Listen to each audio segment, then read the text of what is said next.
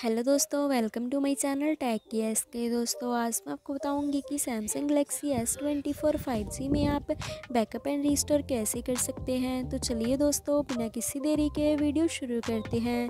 तो दोस्तों, इसके लिए सबसे पहले आपको अपने फ़ोन की सेटिंग्स में चले जाना है। सेटिंग्स में जाने के बाद आपको यहाँ पर एक ऑप्शन मिलेगी। आप यहाँ पर दोस्तों देख सकते हैं, अकाउंट्स एंड बैकअप की। आपको यहाँ पर क्लिक करना है। तो दोस्तों, आप यहाँ पे देख सकते हैं कि आप दो तरीके से बैकअप क्रिएट कर सकते हैं। पहला है सैमसंग क्लाउड और दूसरा है गूगल ड्राइव आप इन दोनों में से किसी भी तरीके से बैकअप क्रिएट कर सकते हैं। तो चलिए मैं यहाँ पे सैमसंग क्लाउड से कर लेती हूँ। बैकअप डाटा पे क्लिक करेंगे। और यहाँ पे अपने सैमसंग अकाउंट से लॉगिन कर लेना है। जैसे कि मैंने पहले से ही कर रखा है। तो दोस्तों, आपको यहाँ पे जिस भी ऐप का डाटा बैकअप करना है, आपको सिंपली से यहाँ से ऑन कर देना है। चलिए मैं कॉलॉक्स का करके दिखा देती हूँ।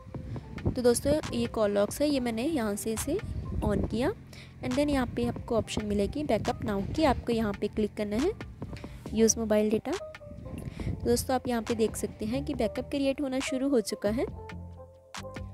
तो दोस्तों, आप देख सकते हैं कि बैकअप क्रिएट हो चुका है। एंड देन आपको यहाँ पे नीचे डन पे क्लिक कर देना है।